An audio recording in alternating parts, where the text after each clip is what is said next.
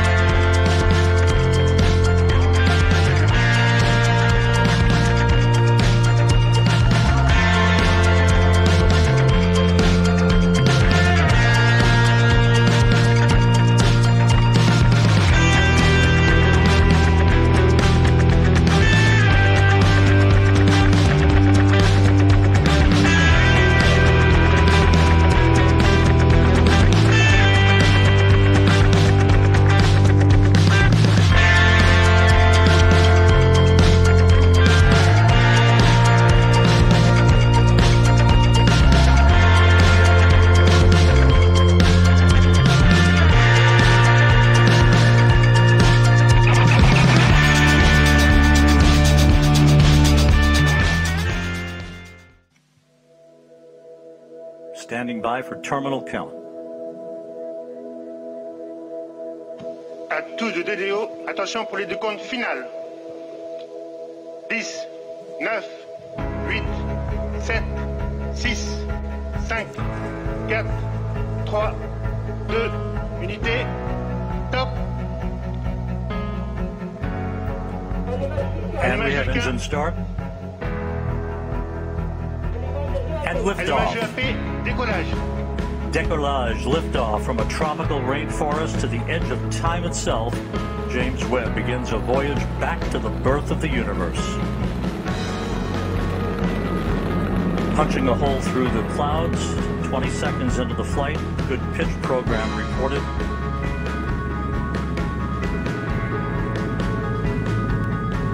Trajectoire est nominale. Vehicle performance is nominal.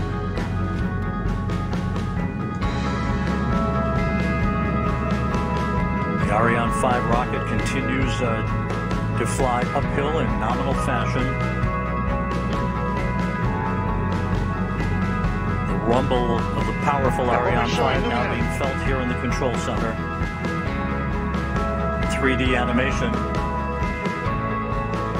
We can hear the noise and feel the vibrations here. Your line strong. Yeah. Impressive. 13 kilometers in altitude, 7 kilometers downrange, traveling uh, about uh, 0.6 kilometers per second.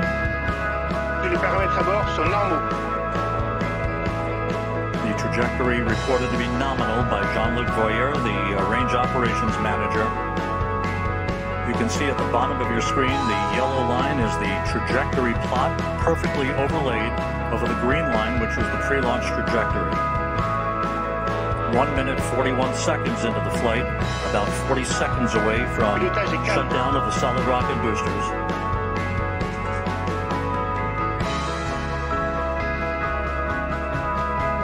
Coming up on the two minute mark into the flight.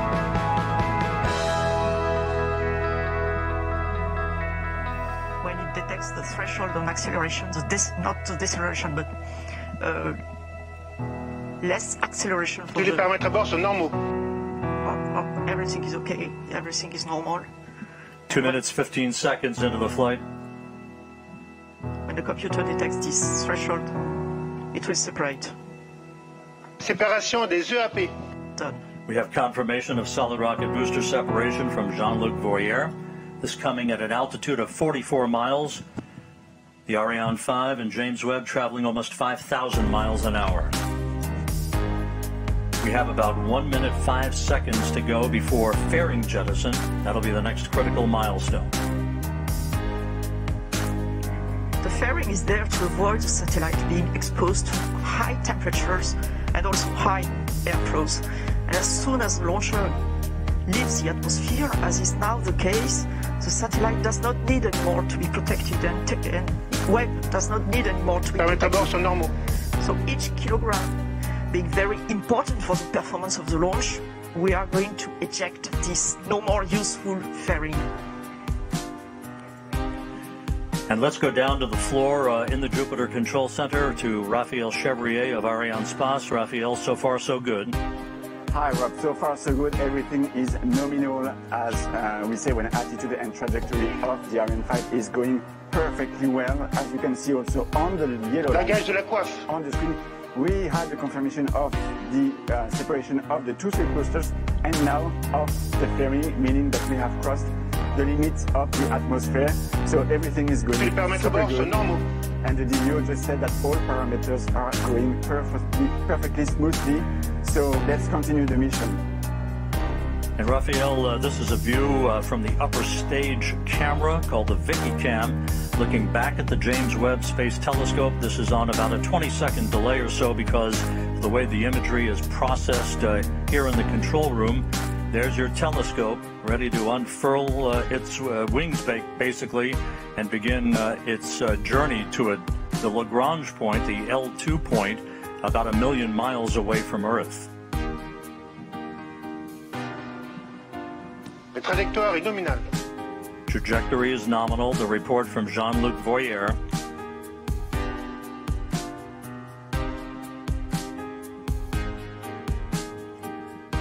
The liftoff time confirmed here in the Mission Control Center at 12:20 Greenwich Mean Time, 9:20 a.m. Peru time, 7:20 a.m. Eastern Time. Ariane 5 and James Webb, 181 uh, kilometers in altitude, 450 kilometers downrange from the launch site here in Kourou.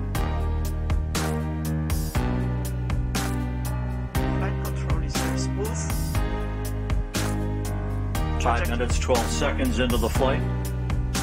We have about uh, three and a half minutes to go in uh, main stage or first stage uh, performance.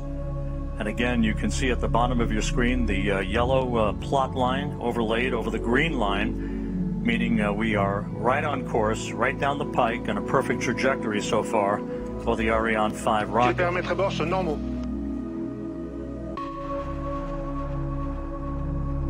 telemetry data are now received by the Galliot tracking station, which is, which is close to here, where we are in Kourou. It will track the launcher and the ignition of its upper stage. la propulsion est nominale. And then we'll, we'll have the Natal station in Brazil, Ascension in the, as you can see on the map, in the middle of the ocean, and the two last stations in Africa, Libreville and Malindi, one on the east coast, the other one on the west coast. And the one on the west coast, Malindi, you can see that the satellite will be, the telescope will be separated more over more or less over this Malindi station. And this Malindi station will also acquire the telemetry data from the telescope. You can see both are green, Galliot and Natal on this animation. It means they are expected to receive the, the data and it was confirmed right now by the launch operations manager. Acquisition de télémesure par la station du Natal au Brésil. Just confirming now that telemetry is being processed uh, through the Brazilian tracking station. The telescope is also uh, processing telemetry through the tracking and data relay satellite system. As it uh, moves further and further out into deep space, all of the telescope's uh, telemetry and its imagery ultimately will be processed through the Deep Space Network in Goldstone, California. We passed the seven minute mark into the flight. A perfect ride uh, so far on the Ariane 5. We have about uh, one and a half minutes to go in the first stage performance. Once uh, the main stage uh, engine is commanded to cut off, it will be uh, jettisoned, and just a few seconds after that, the upper stage engine will, will ignite, and it uh, will be the workhorse for a 16-minute burn that will put uh, James Webb into its preliminary orbit.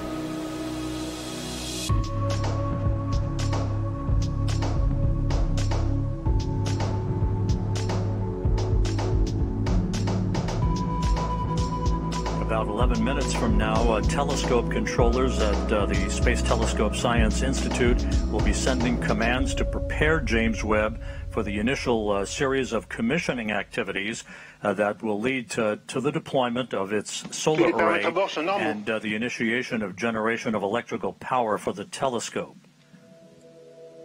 About 30 seconds away from main engine cutoff,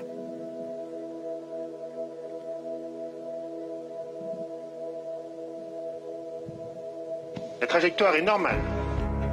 Nominal trajectory continues uh, to be the watchword for the day from the Range Operations Manager, Jean-Luc Voyer, as we stand by for main engine shutdown and separation.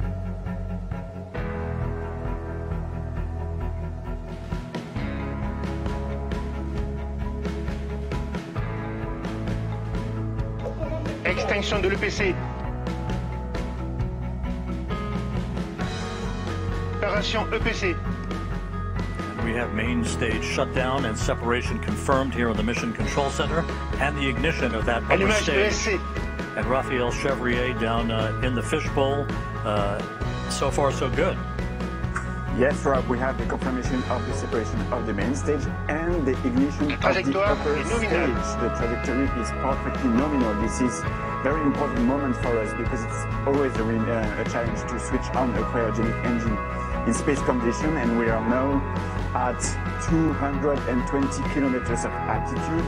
Speed is a bit more than 7 kilometers per second as we enter now the second stage of uh, the second uh, phase uh, of uh, the flight. The upper stage is going to power for about, Pilotage et calme. for about 16 minutes to place Webb on its transfer orbit, and right now everything is again nominal as the DDO just said. And a short time from now, uh, the uh, so-called sawtooth maneuver uh, will get underway. That again, uh, like rocking a baby in a cradle, this will be a maneuver to keep Webb's La optics protected from overheating. Loose. Exactly, like baby in a cradle. You can see here Webb attached on top of Ariane 5 upper stage with a very specific configuration. Of course, it will be different uh, during its lifetime, but for the time being, it's uh, its its shield is folded and not yet fully paramètres à bord sont protecting normaux. the observatory. A number of uh, La propulsion est Exhaustive nominale. studies have been performed by the mission teams in, in Europe, in the US, on the thermal conditioning inside the telescope and the way the rays of the sun would propagate and interact with sensitive equipment inside the telescope. The maintain this thermal conditioning is really key before separating this uh, this telescope. And in particular, we know that one face of the telescope cannot face the sun.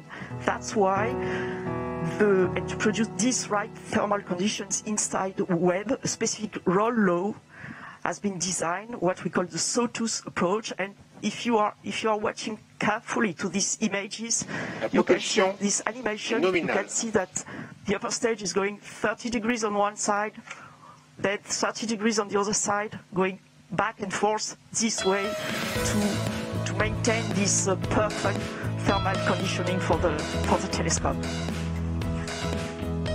It's uh, worthwhile noting that uh, after Les Webb paramètres à bord sont separates from the upper stage uh, of the Ariane 5 rocket, which continues to perform in excellent fashion, and coming up on the 12-minute mark into the flight, uh, the telescope controllers uh, will be taking the baton, if you will, from the mission controllers here in Kourou. Uh, the first steps will be the opening of fuel valves, a pair of fuel valves, to start flowing fuel to Webb's onboard thrusters. Uh, they then will power on the valve drive electronics. Uh, those are powered on in preparation to control and fire those thrusters when required. Webb's solar array is scheduled to be deployed at approximately the 33 minute mark into the flight. Once it is locked in place, we'll get the call uh, that uh, electricity is flowing through the array. That call uh, will come from the mission operations manager, Carl Starr, who's at the uh, Space Telescope Science Institute at Johns Hopkins in Baltimore. Uh, seated right behind him in that control room is Alicia Starr, uh, a pair of stars helping to guide uh, James Webb on its discovery of the stars. Alicia Starr is the uh, lead uh, engineer for launch and ascent events. Uh, once the solar array is de- de deployed and declared power positive, uh, then a uh, three out of the four hold downs for the aft deployed radiator will be released to prevent binding due to the cool down of the telescope's composite structure. The contamination control heaters will be enabled to protect instrument optics on Webb from any water ice condensation as they cool down. The actuator drive unit will be powered on. This particular mechanism helps with heater control of the fine Tous les paramètres à steering mirror. Preventing water ice uh, condensation later to be used uh, to position each of the mirror's segments. All six reaction wheels and the wheel drive electronics will be powered on for Webb, and that will be the precursor to the attitude control system using those reaction wheels to maintain the proper orientation with the sun, as opposed to using onboard thrusters. Uh, of course, fuel uh, in those thrusters very valuable. It's a, uh limited commodity for the lifetime of James Webb's uh, observations of the universe. We're 13 minutes 55 seconds into the flight.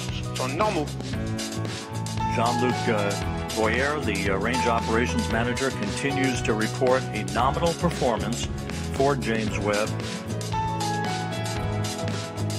And again, uh, Fabregat from the European Space Agency, uh, how is this uh, trajectory being carefully and methodically adjusted to provide the correct parameters in the final stages of ascent? Yes, Rob, as you can see on this plot, the, the altitude is slightly going down. It's perfectly normal. The launch vehicle is uh, really on the on the line where it should be. This decrease of its altitude, slight decrease of its altitude, will allow the launcher to benefit and the upper stage to benefit of the gravity effect and to increase its velocity until it reaches the thermal threshold. It's about to reach it or even already reached, reached it now and it will go up and now it will go up and up up to the separation of the Webb telescope. It will separate the Webb telescope on a highly elliptic orbit, but still around the Earth. The satellite, the telescope will be released, inserted on the orbit around the Earth with an apogee, a very high apogee above uh, 1 million kilometers. Trajectory uh, nominal as reported by Jean-Luc uh, Voyer. You see him in that uh, view, 185 kilometers in altitude, uh, some 4,500 kilometers downrange from the launch site here in Kourou, moving at uh, more than uh, 8 kilometers per second, right on the plot, right on the trajectory, everything looking great. We are, are about nine minutes away from the completion of upper stage ignition. It's shut down, and then about a two and a half minute coast phase before Webb will separate. Observatory separation will be called out. You'll be hearing uh, those calls and the initial calls uh, from Carl Starr, the mission operations manager at the Space Telescope Science Institute at Johns Hopkins, through solar array deploy and the declaration of a power positive spacecraft. Uh, you know, James Webb, of course, will be traveling well beyond the moon uh, to a distance of about a million miles away from Earth, settling into a highly elliptical halo-like orbit to begin its astronomical observations. And again, as we mentioned earlier, at the time of observatory separation, Webb will be at an altitude of approximately 864 miles, statute miles, traveling some 21,000 miles uh, an hour.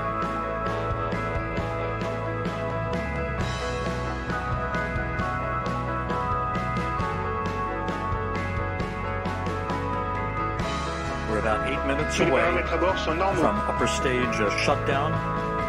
The uh, stage has performed uh, as planned. No issues reported. Uh, the launch occurring at 12:20 Greenwich Mean Time, 9:20 Kourou time, 7:20 a.m. Eastern Time on this Christmas Day. Very smooth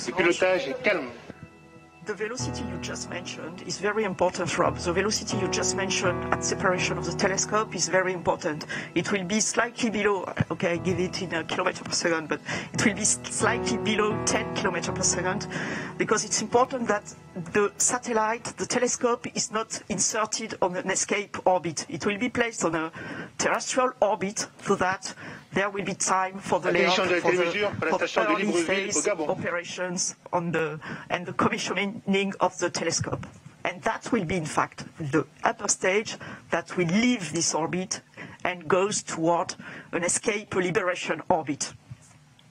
And of course, even uh, though we're still in powered flight, the uh, trajectory, the acceleration, the speed at which James Webb is going towards its preliminary orbit, all modeled in advance uh, in advance and uh, carefully choreographed to maintain as uh, quiescent an atmosphere and environment around the telescope uh, for its ultimate separation from the upper stage of the Ariane 5 rocket, which is about uh, six and a half minutes from now.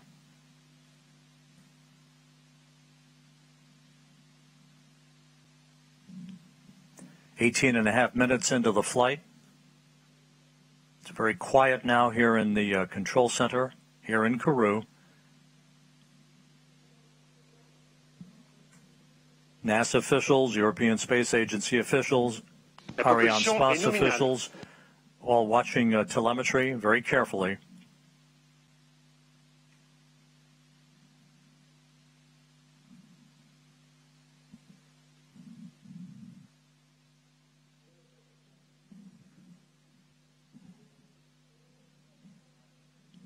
And as uh, the upper stage uh, continues to burn uh, nominally and sheds fuel, uh, the acceleration uphill uh, for the James Webb Space Telescope continues to increase as we approach the 20 minute mark into the flight.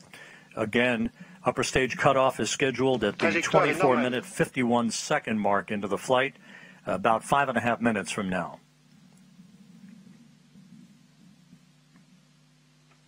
After the cutoff of this main engine, as you said, uh, Rob, we will have a short ballistic phase, a short coasting phase that will, uh, when when the upper stage will rely fully on its at what we call the attitude and roll control system, and it will adjust its its attitude so that during this so small ballistic phase, all the requirements from the telescope are fully met and that at the separation, when, when there will be the separation, the conditions will be very smooth and as requested for the telescope.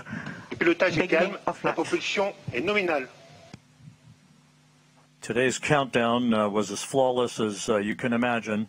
Uh, the weather uh, was perfect uh, all the way through the early morning hours, uh, through the uh, fueling process of the vehicle. The weather's been a bit dicey here in Kourou over the past few days, but everything fell together on this Christmas day uh, to send uh, a new present to the world's astronomer. 20 minutes, 40 seconds into the flight, normale, tous les paramètres à bord sont normaux. All parameters nominal as reported by Jean-Luc Voyer, the range operations manager. Four minutes of powered flight remaining.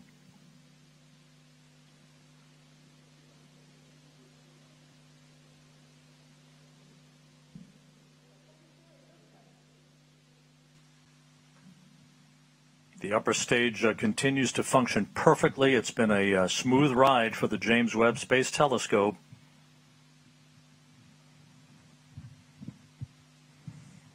Trajectoire nominale.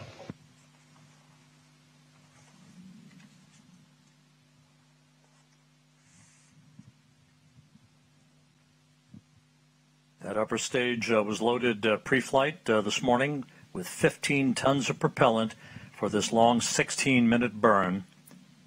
Now about 30 seconds away from upper stage cutoff.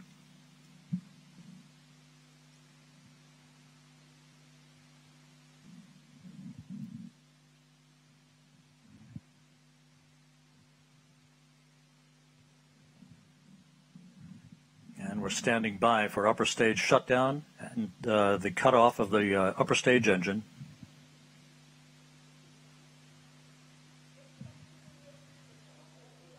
Extinction ESC.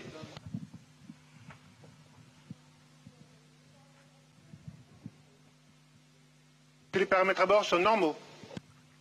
The extinction of the, the shut-off of the, the cut-off of the engine was confirmed exactly as expected with the exactly expected altitude and speed and velocity. So now we are we have entered the coasting phase, the ballistic phase that will last for a little more than two minutes.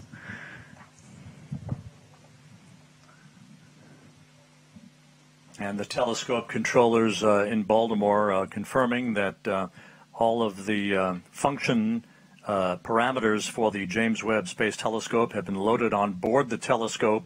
Uh, we are expecting uh, Webb separation at the 27 minute 7 second mark here into the flight. Just over a minute from now, Springs will gently push Webb away from the upper stage of the Ariane 5. As it moves further and further away from uh, the upper stage, uh, there'll be what uh, we refer to as a collision avoidance maneuver. Yes, yes, Rob, exactly. The springs already will give some distancing, of course, between the two objects, between the telescope and the upper stage. And then the upper stage will leave the trajectory of the telescope and makes a special maneuver to pass the telescope and heads towards a liberation orbit and leaves the telescope on its on its uh, orbit uh, without any risk of collision and without any risk of pollution towards the telescope. And we're about uh, 17 seconds away from Webb separation.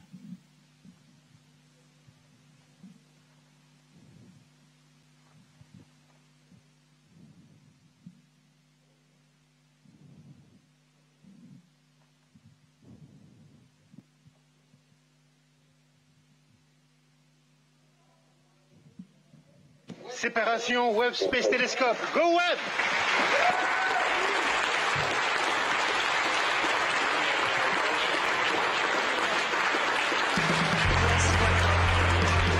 We do have confirmation of observatory separation. The James Webb Space Telescope, amidst applause here in the Mission Control Center, now taking its first steps in pursuit of cosmological discovery. It was a perfect ride to orbit. And all of the uh, separation uh, sequence events are running in good fashion according to the telescope controllers. And there is the view uh, from the upper stage camera on the Ariane 5 looking at the James Webb Space Telescope as it moves uh, gently away from its launch vehicle.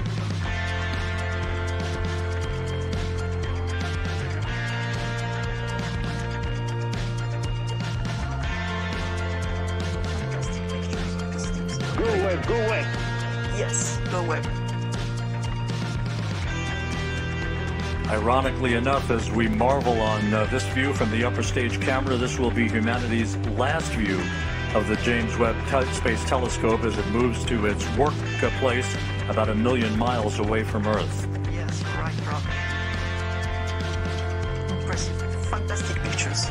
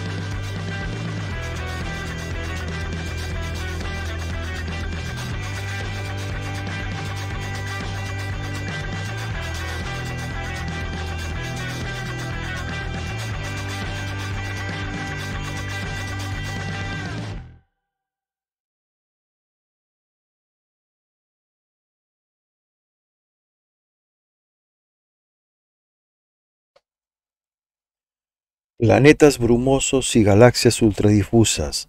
El telescopio James Webb comienza a responder preguntas fantásticas. Desde hoy mismo, cualquier científico puede usar sus datos para estudiar el origen de todo. En 1659, Christian Huygens publicó su teoría de anillos acerca del origen del aspecto que Saturno presentaba a través de sus telescopios el más grande de los cuales alcanzó a tener un tamaño de lente de unos 20 centímetros de diámetro.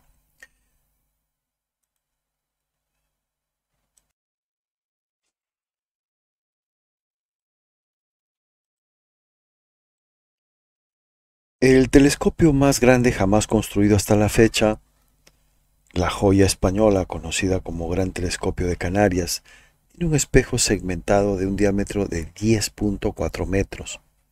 Solo contando la diferencia en tamaño, el GTC es cerca de 3.000 veces más sensible que los primeros telescopios construidos hace ya casi 400 años. Esta semana el James Webb Space Telescope ha empezado a proporcionar datos a todos los astrónomos del mundo. De hecho, cualquier persona puede bajarse sus datos desde hoy. JWST es unas 3.000 veces más sensible espectroscópicamente hablando, que cualquier telescopio jamás construido. Todavía operativo en la zona del infrarrojo medio. Un salto que nos costó cientos de años lo hemos hecho en 20. Asistimos a una revolución científica que comenzó a fraguarse en 1996 con una muy ambiciosa frase del entonces director de la NASA, que tras la presentación de un muy reputado astrónomo sobre la posible construcción de un telescopio espacial de 4 metros que trabajara en el, que trabajara en el infrarrojo, comentó, ¿por qué pides una cosa tan modesta? ¿Por qué no de 6 o 7 metros? El telescopio web quiere responder a unas pocas preguntas sencillas, básicas, quizás fantásticas, yo diría que llenas de trascendencia. ¿Cómo surgió el universo que conocemos lleno de estrellas, planetas y galaxias? ¿Cómo son los planetas de la Vía Láctea? ¿Cómo se crean y cómo evolucionan hasta quizás tener atmósferas y posiblemente ingredientes para albergar vida? ¿Qué papel juegan los agujeros negros, sobre todo los supermasivos, en el origen y evolución de nuestro universo? Algunas de las respuestas a estas preguntas las vamos a empezar a encontrar los primeros datos del WJST, liberados el 11 y 12 de julio y que se han presentado por todo lo alto. Primero fueron el presidente estadounidense John Biden y la vicepresidenta Kamala Harris, los que adelantaron con cierto retraso asuntos más terrenales se cruzaron en la agenda, la imagen más profunda del universo jamás tomada, y la adornaron con reflexiones sobre la colaboración entre naciones, el beneficio de la humanidad a través del conocimiento y la tecnología, y las posibilidades ilimitadas del espíritu emprendedor y explorador de los humanos. Fue una gran muestra del apoyo gubernamental a la ciencia en Estados Unidos que deberíamos todos aprender.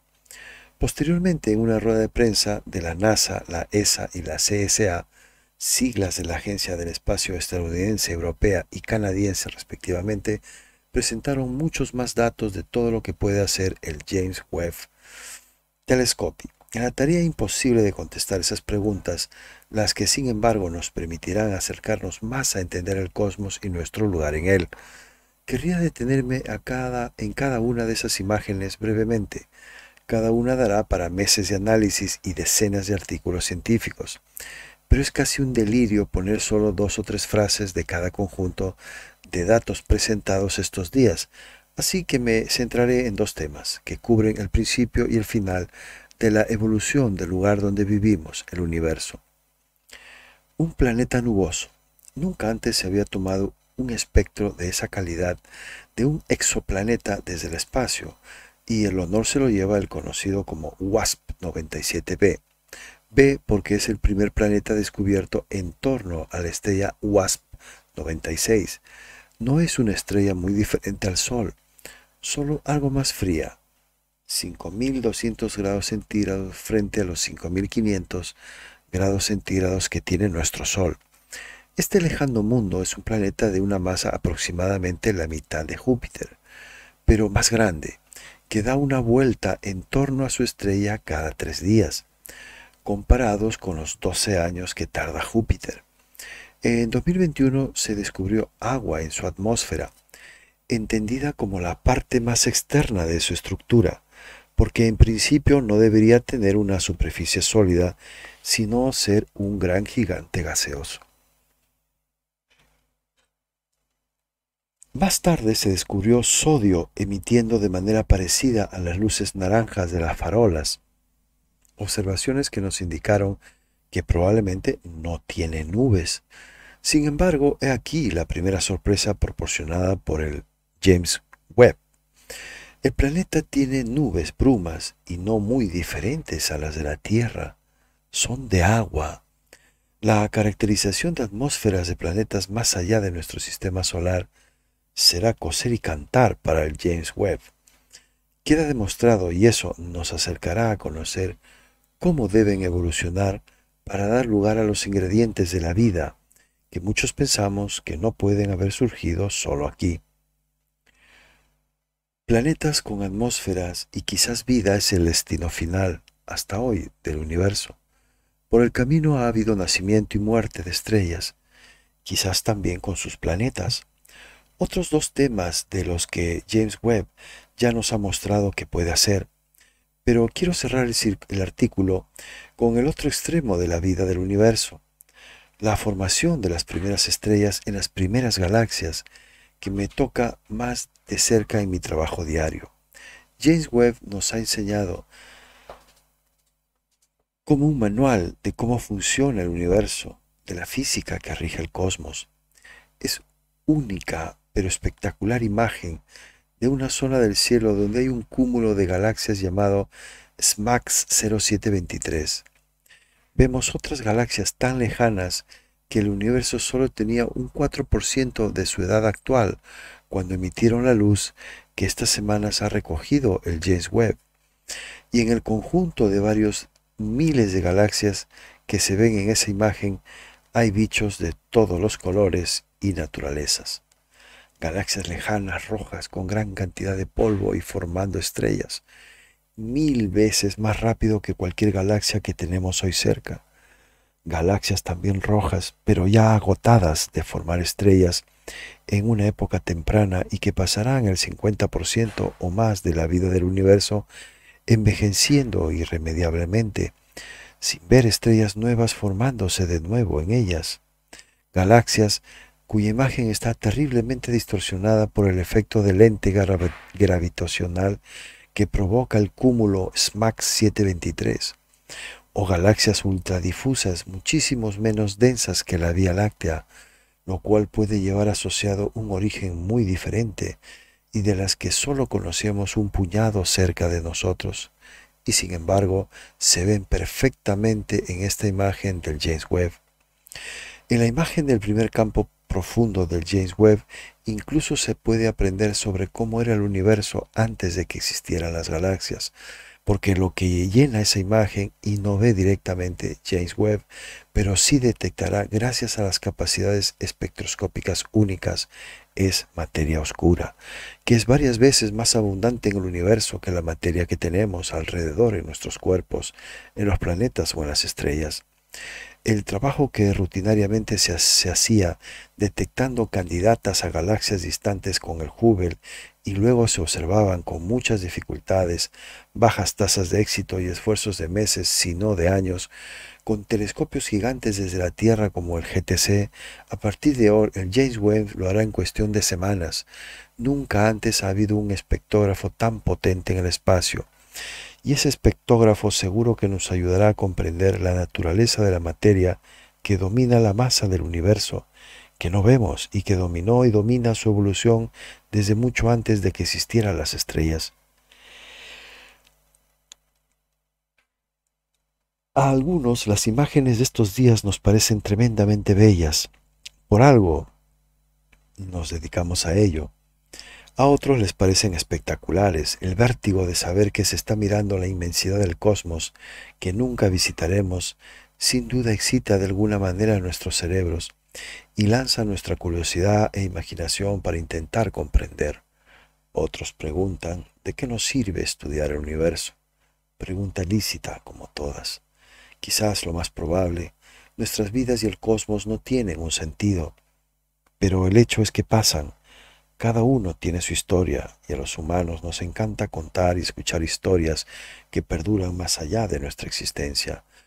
Quizás si existe un sentido, el hecho entonces sería que el universo ha acabado hasta hoy dando lugar a la vida en la Tierra, o quizás en algún otro sitio y en algún otro tiempo. De nuevo, la historia del cosmos nos ayudará a relativizar, entender y trascender nuestro tiempo limitado y nuestra existencia efímera. Al menos esa es mi ilusión. Pablo Pérez González, investigador del Centro de Astrobiología, dependiente del Consejo Superior de Investigación Científica y del Instituto Nacional de Técnica Aeroespacial. Gracias Pablo por esta reseña tan hermosa sobre el Webb James Webb Telescope. Y ahora amigos les dejo con justamente el proceso de lanzamiento del cohete que llevó al espacio este formidable telescopio. Disfrútalo. Si te gusta el vídeo, compártelo, divúlgalo. Deja tu like, tu poderoso like. Hasta la próxima, mis amigos.